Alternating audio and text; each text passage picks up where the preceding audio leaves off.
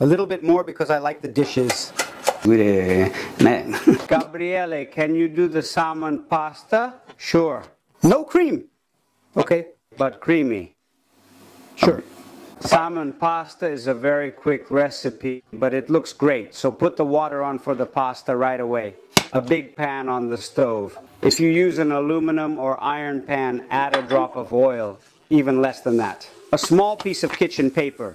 And give it a wipe with the slightly warm pan to clear any oxides. For three servings, a small amount of butter. Gabriele, I use extra virgin olive oil. That's fine. But butter goes with the salmon. Smoked salmon, 100 grams. Chop it with four stabs. It should be chopped fairly coarsely. Not too finely, or it will lose shape. Inside, use the butter that should not become brown. It must stay light in color. And you pound it, you break it down, and you reform it. Cook slowly until the salmon begins to stick slightly it will turn all white and try to stick to the pan a bit. When the salmon has been brown, you include half a glass of dry white wine. The daring one, they can even use just a little glass of dry vodka, okay? Not lemon vodka, not peach vodka, just dry. The wine will dry in 20 seconds. Now, an important choice awaits you. Make it white, make it pink. I make it pink and add it half a tablespoon of tomato paste. Mix the paste with the salmon. Notice how it attaches a bit. There it is. Let it stick a little because it gains a great flavor. Don't go overboard with the paste or it will taste only of tomato, and it shouldn't be so. When it looks toasted like this, take it off the heat briefly. You said you wanted it without cream, but still creamy. So we will make a cream sauce, a smart bechamel, with half a liter of milk, and 40 grams of flour. The half liter mark is here, it's just a bit off. Half a centimeter and 40 grams of flour, that's it. What's here? If no flour, if you don't want to use flour, cornstarch will work too. Inside the cold milk with cold flour, a cold spoon, and a cold pitcher, mix everything while it's cold. Inside the salmon, place directly in the colander, because if there happens to be a small lump of flour, stop it. Set it on the stove and let it come to a boil. You should mix quite often. Please do this task here using a little spatula. In just two minutes, it will become thicker. You'll see the bubbles when they form. Look at the density of the sauce. If it is like that, it's fine.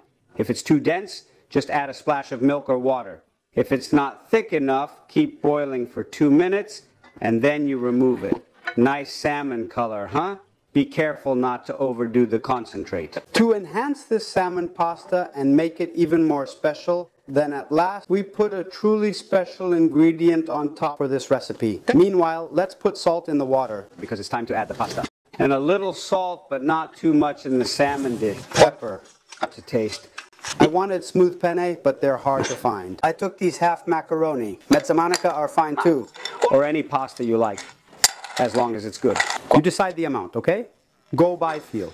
Usually it's about 80, 90, 100 grams per person.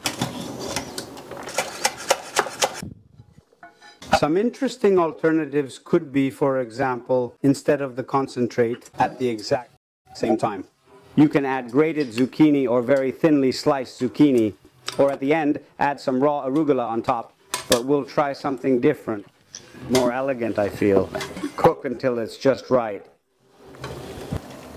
A little splash of pasta water, not much. Oh. On the heat and stir. Look at that gorgeous color. Isn't that a beautiful color? Or isn't it creamy? Look at her beauty. Let's prepare a nice plate for the picture. Look at how well it contrasts. The plate is a bit dark with the lovely pink pasta. Isn't it great? A nice posh plate, but let's add a bit more, because small dishes make me feel gloomy. To make it a bit special, just add some zest on top of lemon peel or orange peel whichever you prefer, and it will be truly special. But on top, not combined with the pasta, so you can taste the difference, the contrast. A bit of fresh pepper to taste, of course, and then add a bit of fennel on top, parsley or chives if you like, Gabriele, I add ricotta, and you should add it too. I do it with boiled potatoes, and do it with the potato. I gave you some guidance, and then you can do it a little wildly as you wish. A bit of pepper for me too. Parsley is optional if you like. If you have fresh fennel, it works well. Good or fresh chives though, okay? Cut well. Oregano, why not? Gabriele, it's a recipe from the 1980s. So what food doesn't need to follow trends, it should follow. Me. It follow you, it follow itself. So what is ragu pasta? It's from the 15th century. Let it be. Tasting like the bomb is absolutely one of a kind because in a skillet, it will stay the best part. Of the recipe. Then there's the lemon zest I added on top and the pepper. That are a match. Spatial. Prepare it this way. And you won't regret it. Um. Are you filming? You're doing the penny. No, the penny. Those aren't penny. I'm aging. Me too. You know it. I'm waiting for you. Should I go? Are you recording? Not that way, no. Go on. Today I'm a bit dazed, I mean. A minor key. A major. Om. Bim, bim, bim, bim, bim. Om. Om. Yes, you were trying to play me, huh? Om. I'll do it. What is it? Not the enlightened one? Now go for the cream. The cream, the pasta you want.